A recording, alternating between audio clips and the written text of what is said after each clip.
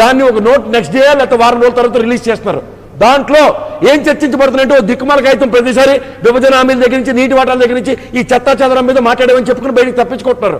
ఇవన్నీ తెలియకుండా ఎంతసేపు జగన్మోహన్ రెడ్డి గారిని ఆపాదించుకుంటూ ఇవాళ ఉన్న మొత్తం పార్టీలు కూడా చెప్తున్నా రాష్ట్ర ప్రయోజనాలు ఫ్యాక్ట్ ఫైండింగ్ కమిటీ త్రూగా మనకి ఏం రాలేదో పవన్ కళ్యాణ్ గారికి పూర్తి అవగాహన ఉంది. ఆయన పొత్తులో ఉన్నారు.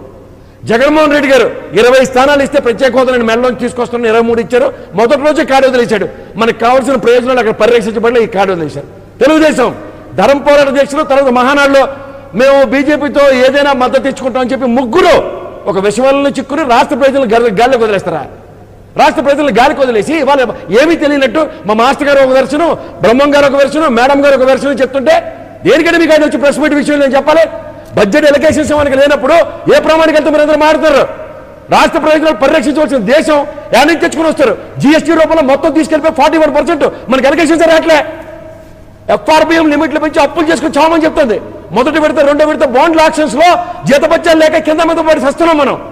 వీటి మీద ఎవరైనా మాట్లాడతారంటే ఓ ఎంతసేపు రావడం? టీవీలో కూర్చోడం ఈ నాలుగు తట్టుకోవడం ఆ నీళ్ళు తిట్టుకుని పోవడం. వివేకానంద రెడ్డి హత్య కేసు సిబిఐకి ఇన్వెస్టిగేషన్ ఉంటే రెండు కోట్లు మారి గొట్టలు పార్లు ఎత్తుక్కుని సస్తున్నారు వాళ్ళు. ఏం ఏం మాడుతున్నారు అవినాష్ రెడ్డి ఈ రోజు దాకా ఎందుకంటే ఆ ఎస్ఐని ఈ రోజు దాకా సస్పెండ్ చేయలే. ఫర్ యువర్ ఇన్ఫర్మేషన్ గత గవర్నమెంట్ ఈ గవర్నమెంట్ ఏం మాట్లాడుతున్నారు? వివేకానంద రెడ్డి ఎడ్యుకేషన్ ప్రతి దానికి ఇంటర్లింక్ చేసుకుని ఏం మాడుతున్నారు మాడుకోండి ఏం పర్లే. టైం వేస్ట్ కార్యక్రమం తప్ప. అవతల సిబిఐలు తేల్చరు అపోజిషన్ పార్టీలు రూలింగ్ ఉన్నప్పుడు తేల్చరు. రూలింగ్ పార్టీ వాళ్ళు అంతకన్నా తేల్చరు. దేనికి దిక్కుమాలేకపోయారు టైం వేస్ట్ కార్యక్రమం కాకపోతే సిబిఐకి ఇచ్చినా సిబిఐ నంబరు సిబిఐ ఏం చేస్తుందో కూడా ముందే వీళ్ళు చర్చించేసి లోపలికి వచ్చిన అవినాష్ రెడ్డి మొత్తం ఏం ప్రశ్నలు అడిగారు ఇలా ప్రశ్నలు చెప్పేస్తే అది దానికి అనుగుణంగా మనం చరిత్రలు వాయించుకొని తిరగమంటే ఎలా అవుతుంది? సస్పెక్ట్ ఈస్ టోటలీ డిఫరెంట్ ఆ రోజు ఉన్న స్థితిలో వీళ్ళే క్వశ్చన్ తయారు చేసి ఇచ్చేస్తే ఏంటి వర్మ గారు మీరు గమనించట్లేదు. విజయసాయి రెడ్డి గారు గుండెపోటు ఉన్నారు ఇవాళ విజయసాయి రెడ్డిని ఎంక్వైరీకి ఈరోజు దాకా పిలిచారా? దీని మీద ఎవరైనా మాట్లాడతారా? ఆనాడు చీఫ్ ఎవరంటే మన ఇంటెలిజెన్స్ ఐజీ ఐబీ వెంకటేశ్వర ఓ దిక్కుమాల SIT one report SIT two రిపోర్ట్లు ఇచ్చి మన మోహన్ కొట్టిపోయాడు. ఏమవి ఇవి సిబిఐ వాళ్ళు ఎందుకు అడగట్లే దీని మీద ఎవరైనా మాట్లాడుతున్నారా ఇవెవరో మాట్లాడకుండా ఎంతసేపు సిబిఐ వాళ్ళు ఏం చేయట్లే? వివేకానంద రెడ్డి హెచ్చరిస్తూ ప్రతిదానికి ఏ జగన్మోహన్ రెడ్డి పని పట్టలేదా? పెద్ద దేనికి ఎత్తాడా ఈ గతంలో ఇరవై తొమ్మిది సార్లు పైచీలకు చంద్రబాబు గారికి లేదు రాష్ట్ర ప్రయోజనాలు కాకుండా ఆయనకే కేసులు ఉన్నాయి.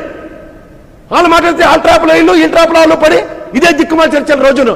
ఏ బడ్జెట్ ఎలకేషన్స్లో ఏమున్నాయి చెప్పలేడు ఎవరే ఏమి ఉండవట. ఎందుకు ఉండవండి? ఎవరికోసం ఉండవు?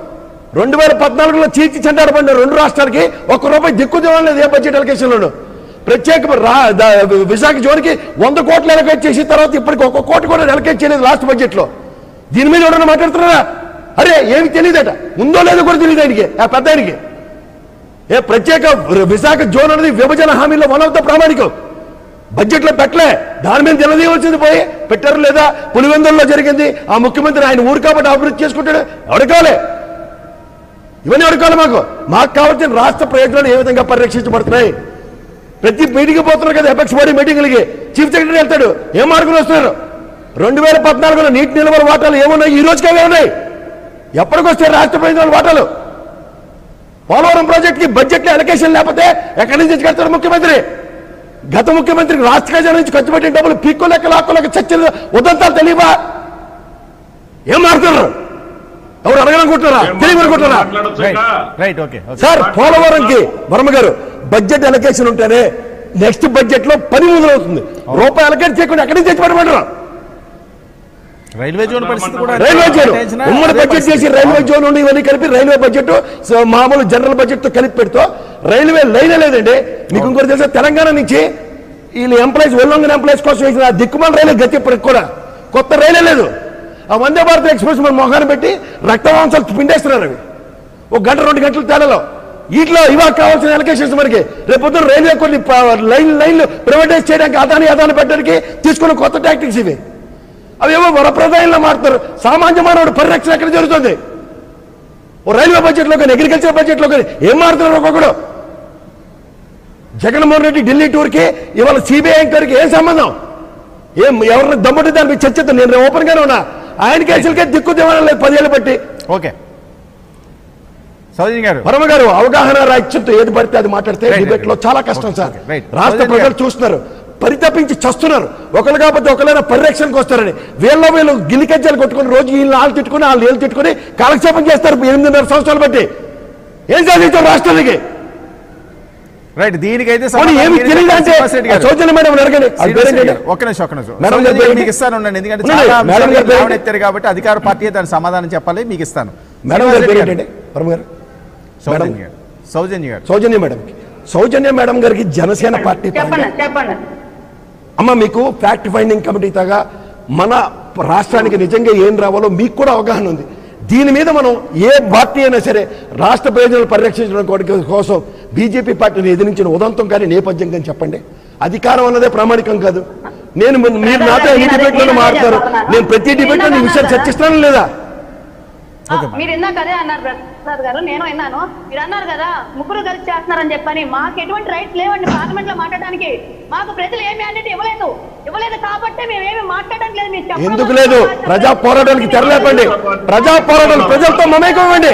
ఏం చేస్తున్నారు ప్రజల పక్షాన? ప్రజల పక్షాన ఏం చేస్తున్నారు మీరు? ప్రజలతో మమేకం ఏం చేస్తున్నారు? ఫైండింగ్ కమిటీ ప్రసాద్ గారు మీరు అడిగింది ఫ్యాక్ట్ ఫైండింగ్ కమిటీ ద్వారా మీకు అన్ని తెలుసు కదా అని చెప్పన్నారు. ఆ రోజు టీడీపీ అధికారంలో ఉన్నప్పుడు అదంతా ఎక్కడ కేంద్రం నుంచి ఎంత రావాలి ఏంటి అని చెప్పని ఆ రోజు టీడీపీ చెప్పడం జరిగింది. ఆ తర్వాత ఈ రోజు మీరు అనొచ్చు. మీరు పొత్తులో ఉన్నారు కదా మీరు వెళ్ళొచ్చు కదా అని చెప్పని. పొత్తులో ఓన్లీ పార్టీతో మాత్రమేనండి. అధికారంలో ఉన్న దానికి పార్టీతో పొత్తుకి ఎటువంటి సంబంధం లేదు. మేము అడగడం వరకే మనం చేయగలం. ఏది? అడిగిన ఉదంతాలేవి? ఓ ప్రెస్ నోట్ ఏది? మీ పరంగా పవన్ కళ్యాణ్ గారికి అడిగారని ప్రెస్ నోట్ ఏదమ్మా? గారికి ఇచ్చిన ఇవాళ బీజేపీ ప్రభుత్వానికి రాష్ట్ర హక్కులు ఈ విధంగా హరించబడ్డాయి. అని ప్రశ్నించిన గలం ఏది ఓకే ఓకే. మాకు ప్రజలు గనక పవన్ కళ్యాణ్ గారికి పవర్ ఎవరు? ఎవరు? ప్రజల తరఫు నుండి ప్రజలకు ఏం కావాలో మీరు బీజేపీని అడగడం మీకు పవర్ రాదు. మమ్మల్ని అనే రైట్స్ మీకు లేవు. నేను అనడం రైట్ ఏంటమ్మా? ఇవాళ నాకేం హోదా ఉందో నేను అడుగుతున్నా.